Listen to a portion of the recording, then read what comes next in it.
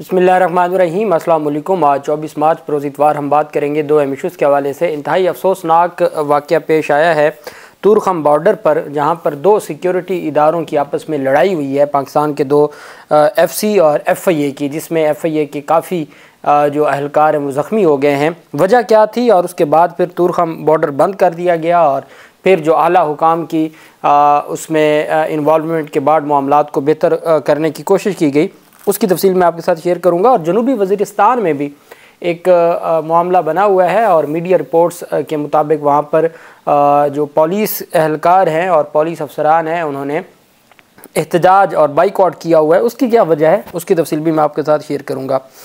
सबसे पहले तो मैं आपको बताता चलूँ कि गवर्नमेंट कॉलेज, जो जीसी कॉलेज है जीसी कॉलेज यूनिवर्सिटी वहाँ पर एक तालबा को हरासा करने का केस था और प्रोफेसर को मअतल कर दिया गया है। गवर्नमेंट कॉलेज, यूनिवर्सिटी लाहौर में मुबैना तौर पर हरासा करने के मामले पर तालबा के तशद का निशाना बनने वाले असिस्टेंट प्रोफेसर को यूनिवर्सिटी इंतज़ामिया ने मामले की तहकीक़ात तक मअतल कर दिया है। आपने देखा होगा, एक वीडियो वायरल हुई गवर्नमेंट कॉलेज, यूनिवर्सिटी की एक स्टूडेंट ने मुबैना तौर पर हमला किया। और तशद किया अपने एक प्रोफेसर पर और इल्ज़ाम ये था कि उसने हरासा किया है। उस पर फिर उनको हटा दिया गया है और उनको मअतल कर दिया गया तहकीक़ात शुरू कर दी गई हैं। चंद दिन कबल गवर्नमेंट कॉलेज, यूनिवर्सिटी लाहौर की एक वीडियो सोशल मीडिया पर वायरल हुई, जिसमें तलबा को एक टीचर पर बदतरीन तशद करते देखा जा सकता था और मामले की तहकीक़ात के लिए कमेटी बनाई गई थी। यूनिवर्सिटी के वाइस चांसलर ने मामले पर गहरी तशवीश का इजहार करते हुए कहा है कि तलबा और इस के लिए यूनिवर्सिटी का माहौल पुरमन रखना यूनिवर्सिटी की पॉलिसी है और यूनिवर्सिटी में हरासानी के हवाले से अदम बर्दाश्त की पॉलिसी है। गवर्नमेंट कॉलेज यूनिवर्सिटी की जानब से जारी बयान में कहा गया है कि जामिया में तशद के साथ मुल्क के कवानीन और जामिया असूल जवाब की खिलाफ वर्जी के लिए कोई जगह नहीं है। और यूनिवर्सिटी के वाइस चांसलर को उन्नीस मार्च दो हज़ार चौबीस को पेश आने वाले हादसे पर तशवीश है। आ, आ, साथ बताया गया है कि मामले की जाँच और ज़िम्मेदारों के तयन के लिए फौरी तौर पर कमेटी कायम कर दी गई थी जिसको दोनों फ्रीकैन की बात सुनकर मामले की सही तरीके से जाँच के बाद अपने मुशाहदात और सिफारिशात जल्द अज जल्द कमेटी को जमा करवाएँ। बयान में कहा गया कि वाइस चांसलर ने मामले की मुकम्मल जाँच होने तक शोभा इंग्लिश के असिस्टेंट प्रोफेसर डॉक्टर महबूब को डॉक्टर महबूब अहमद को मअतल कर दिया है और उनको हदायत की गई है कि वो इसी वक्त कैंपस आएँ जब उन्हें इन आ, मामले की जाँच के बाद कार्रवाई के लिए बाबा तौर पर तलब किया जाए। इसके अलावा यूनिवर्सिटी की फैकल्टी स्टाफ और इंस्टीट्यूट ऑफ़ इंग्लिश के डायरेक्टर को वाक़ के हवाले से किसी भी किस्म का बयान देने से रोका गया है। मीडिया रिपोर्ट के मुताबिक गवर्नमेंट कॉलेज यूनिवर्सिटी की एक तालबा ने हरासानी का इल्ज़ाम आयद करने पर उनको फ़ाइलें उठाकर मारी थी और उनके बाल भी नोचे थे। और डेफिनेटली आजकल जो हमारे सामने ख़बरें आती हैं और इस के मुख्तलिफ़ आए रोज़ ऐसी हरासमेंट की जो है वो, पहले हमारे यहाँ जो workplace harassment of women at workplace जो एक एक्ट बनाया गया था उसमें अब बड़ी अच्छी तरमीम हुई है। पहले ये था कि जो वहाँ पर मुलाजमत करने वाले हैं सिर्फ़ उनके ऊपर लागू होता था। स्टूडेंट्स के ऊपर अगर टीचर स्टूडेंट को करता था तो उस पर फिर मोतसिब के पास जब ये मामला जाता था तो रिलीफ मिल जाता था कि जी ये आ, उस कंप्लेनेट की डेफिनेशन में नहीं आती। लेकिन अब कानून साजी हुई और कानून साजी में तरमीम की गई है जो वर्क प्लेस एक्ट है उसमें उसमें तरमीम करने के बाद अब स्टूडेंट्स को भी शामिल कर दिया गया है कि अगर टीचर स्टूडेंट को हरासा करेगा तो ये भी उसी हरासमेंट के ज़ुमरे में आएगा जो एक वीमेन के साथ वर्क प्लेस पर हरासमेंट का कानून है, उसी के ज़ुमरे में आएगा। दूसरी तरफ़ हमारे यहाँ जो सबसे बड़ा मसला है वो ख़वान को जायदाद में हिस्सा ना देने का है।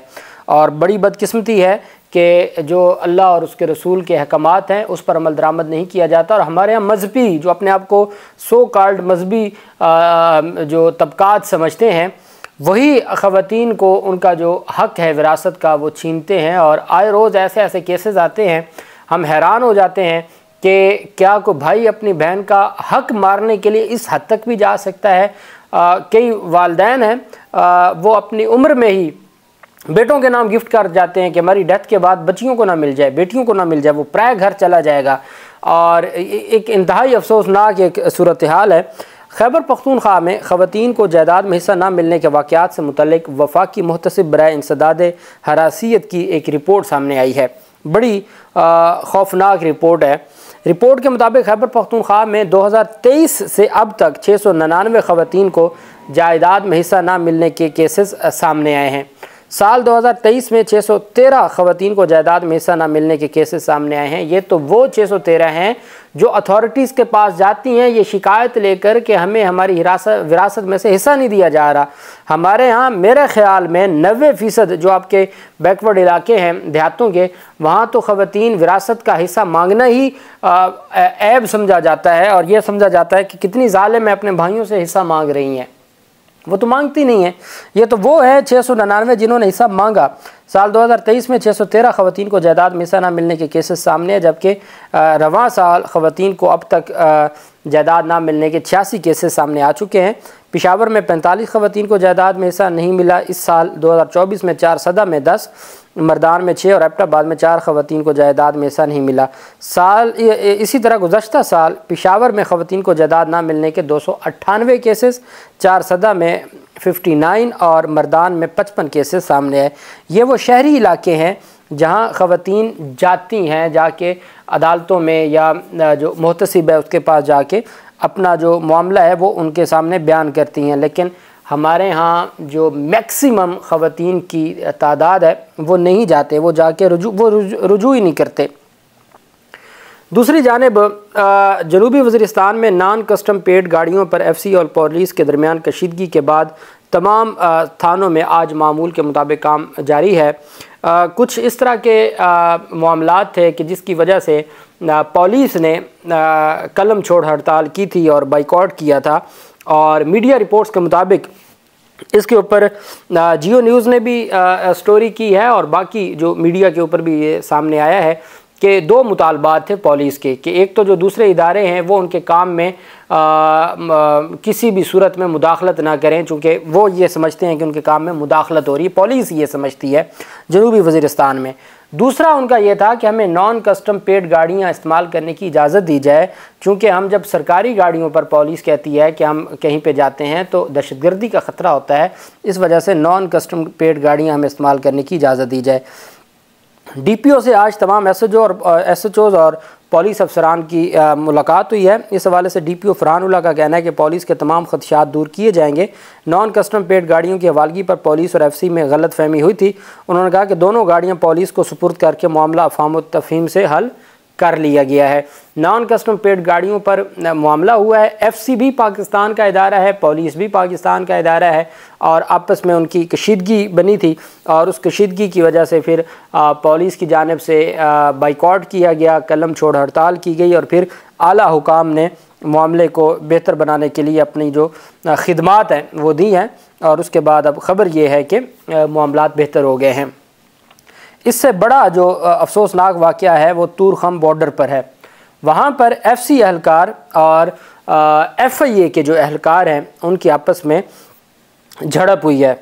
तूरखम बॉर्डर पर एफ़ सी एहलकारों के साथ एफ़ आई एहलकारों की झड़प में छः एफ़ आई एहलकार ज़ख्मी हो गए।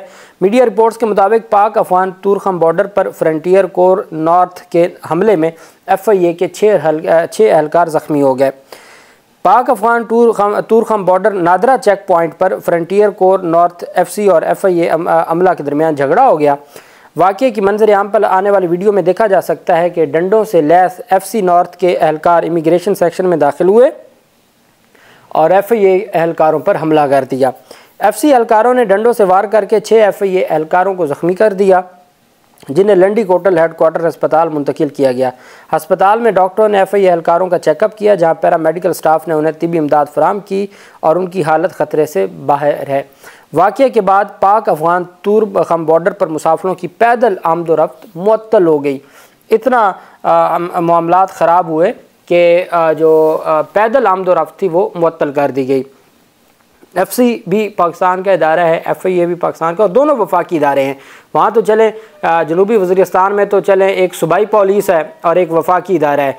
यहाँ तो दोनों वफाकी इदारे हैं और ये वज़ा जो वज़ी दाखिला है चूँकि दोनों वज़ी दाखिला के अंडर हैं तो वज़ी दाखिला की ज़िम्मेदारी बनती है कि जो ज़िम्मेदारान हैं उनके ख़िलाफ़ कार्रवाई की जाए।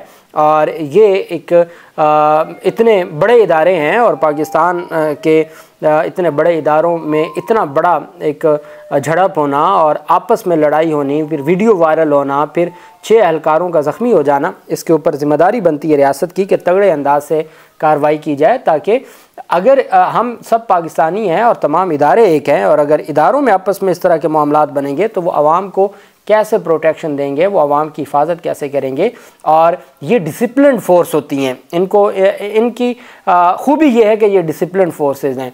अब डिसिप्लिन फोर्सेस में भी अगर कोई मामला आ गया था तो अपने आला हुकाम को बताएँ।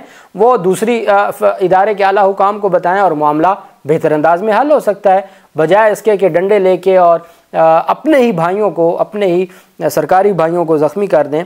तो इस तरह की चीज़ें और फिर वो वीडियो वायरल हो जाए तो इससे रियासत की को, की और उस इदारे की जग हंसाई होती है। और इसके ऊपर देखते हैं कि अब क्या एक्शन लिया जाता है। अल्लाह पाक पाकिस्तान का मुनासर हो। बहुत शुक्रिया अल्लाह हाफिज़ पाकिस्तान जिंदाबाद।